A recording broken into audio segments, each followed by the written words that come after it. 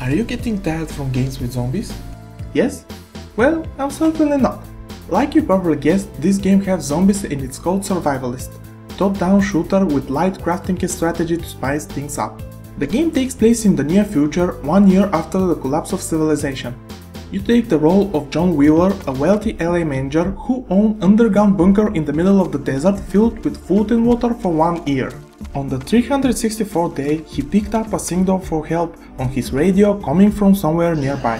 He goes out to investigate. You find a woman named Alice Locke, you help her and the rest is up to you to find out. Halfway through the game the story picks up and starts to get interesting. And it has few twists. Usually in a game like this the goal is to find out where the disease started, find a cure or save someone. Here it's not like that. Your first priority is surviving. Some quests will lead to answers to reach the end of the game you have to complete 5 objectives. Construct certain number and type of buildings, enough food to feed your community, neutralize all regional threats, find love, have at least one person in your community with max skill level in each of fitness, firearms, construction, farming and medicine. The game was first introduced for Xbox Live before landing on the PC platform, in its almost perfect port. The most disappointing thing are the video options, only full screen resolution in large fonts. Textures are okay, movement of everyone is kind of robotic. All human and zombie characters differ from each other only by clothes and skin color. In sound there are only three options, sound effects, menu sound and music. But all those things are minor problems.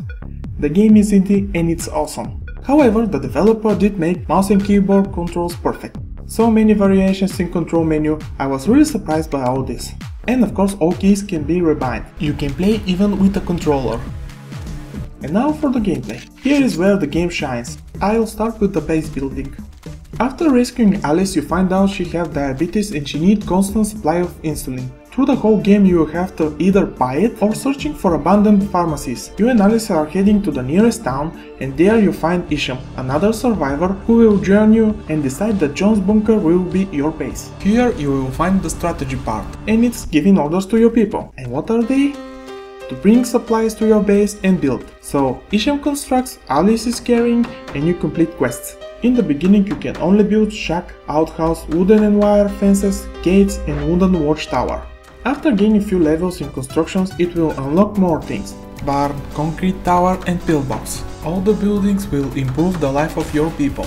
Don't make the wrong conclusions. For the most part this is action oriented game with nice story and it's not another with only crafting and surviving. The game wants from you to build certain number and type of buildings. That way you will have places for everyone and everything. The more people you have, the more buildings you need. They are used to store supplies and for people to sleep. Of course you need to defend your base.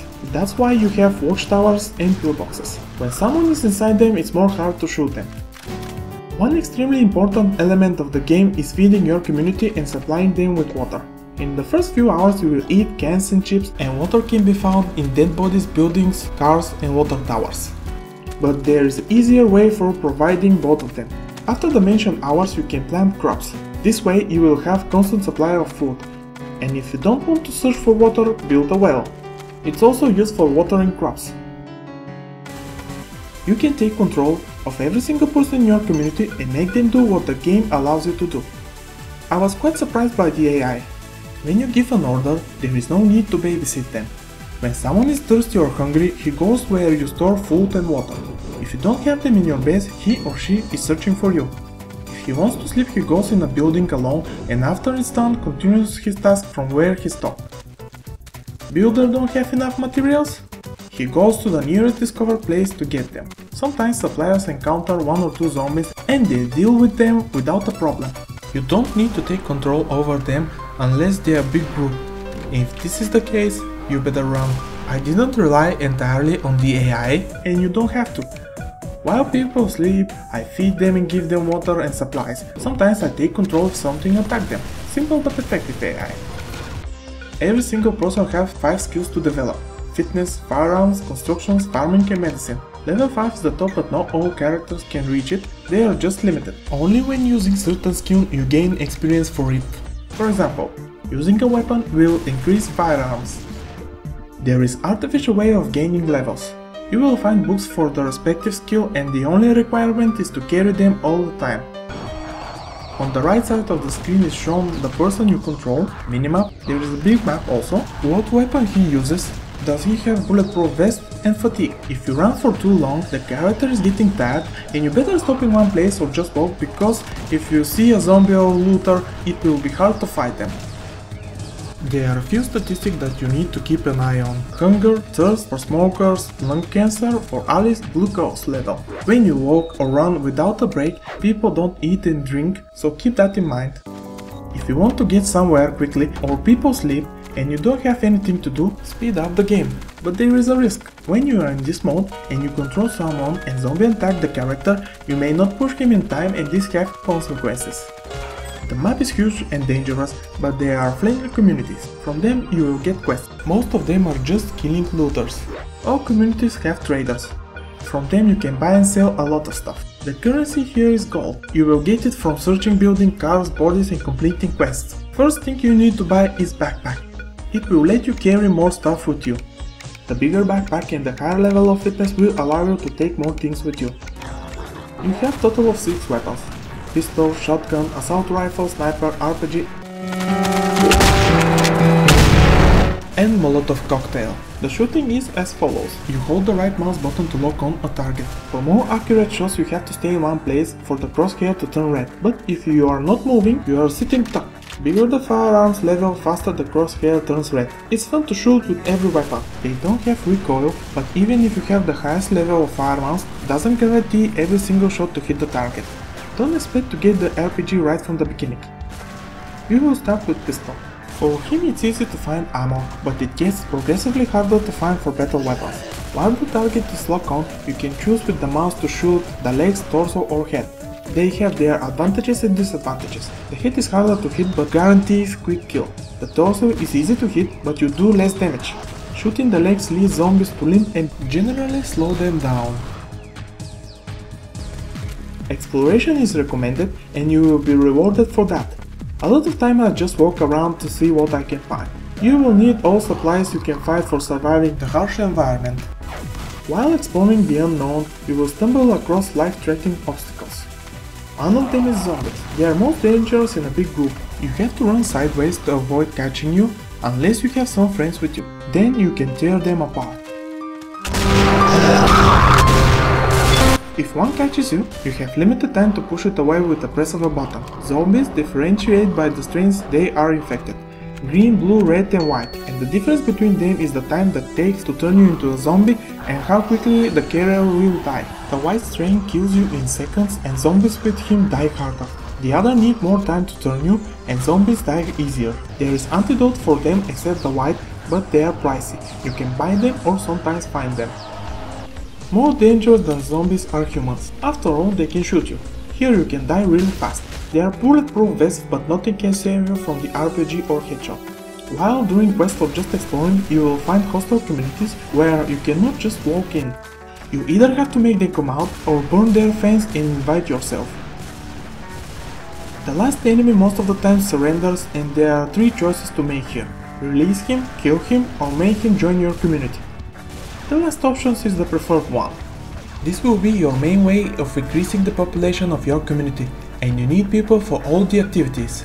By the end of the game I had 3 farmers, 2 builders, 2 to bring supplies and 5 for the quests. In the game there are great firefights that will keep you on your toes.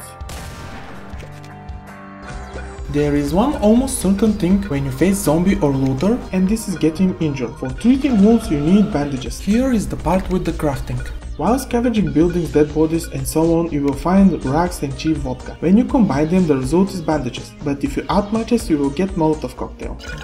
The one interesting thing about injuries is the limbs can get hurt and this leads to bringing down skill levels. When an arm or two get hurt, temporary and respectively bring down one or two levels of firearms. If the legs get injured, fitness will decrease. When you stop for a moment, the character alone will bandage himself, but if you want to stop bleeding quickly and restore fast your levels, ask someone to patch you.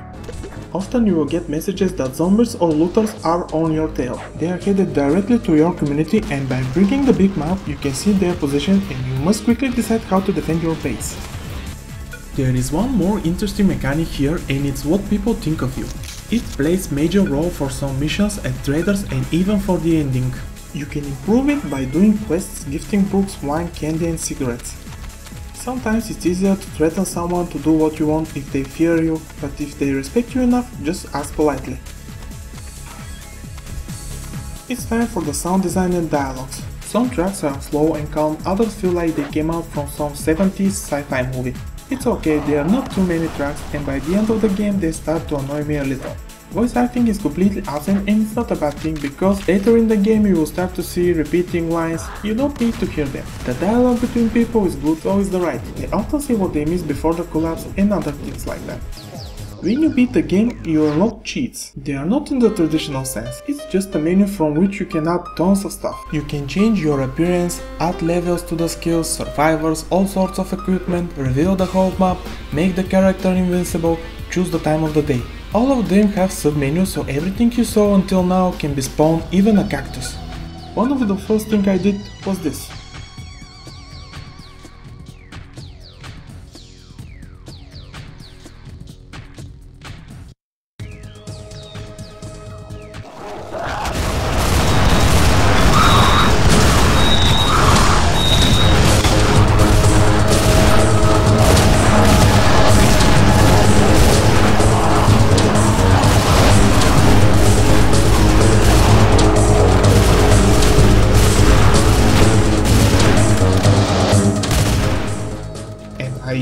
Built a small town. I consider those cheats half-baked. Don't get me wrong, I like the idea of creating something, but you will have fun for maybe 30 minutes with them. You cannot make new scenarios or entirely new map. You are just adding empty buildings to existing map with very little fun value. The basis for level creator is here and all of this feels like missed opportunity. It took me 34 hours to beat the game. Maybe they would be 35 if I didn't screw up two quests. I won't tell you who are they, but I will give you some advices. First, save your game often, especially when entering uncharted territories. Second, after you build wooden fence, surround the base with wire fence. That way you will keep enemies far away, especially zombies. When they gather around the base and someone is in a watchtower, you will see the bullets ricochet in the wooden fence and not hitting them. Third, don't rush to buy insulin, you will find plenty. Only if you mess around for too long, it won't be enough. Fourth, there is a faster way to accomplish the max all skill condition to win the game. This happens through the books that increase levels. Gathering farming experience is so slow and it helped a lot.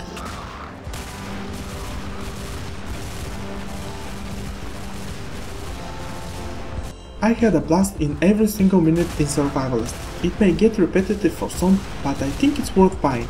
Although there is no new mechanics here, the game is quite addicting and it will keep you in front of the monitor for a long time.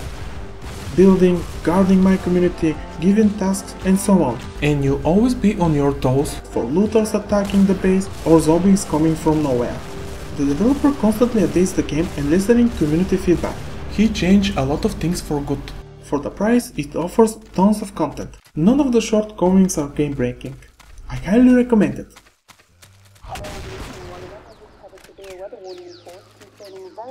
Oh, my God.